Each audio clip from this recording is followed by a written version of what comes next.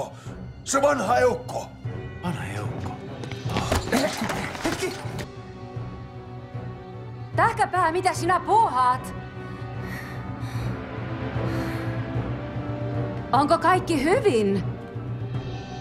Olen kadonnut prinsessa. Puhu kovempaa, tähkäpää. Tiedät, miten inhoan muminaa. Minä olen kadonnut prinsessa.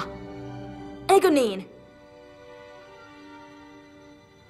Mumisinko nyt, äiti? Vai oletko edes äitini?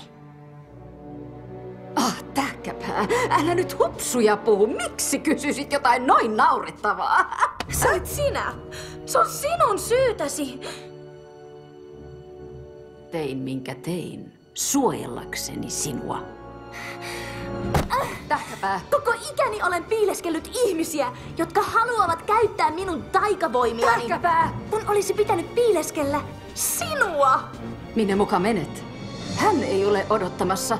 Mitä olet tehnyt hänelle? Se rikollinen hirtetään rikoksistaan. Ei. No, no, ei hätää. Kuuntelehan. Pian kaikki on taas niin kuin pitääkin. Ei! Olit väärässä maailmasta. Ja olit väärässä myös minusta. Enkä enää ikinä anna sinun hyötyä hiuksista.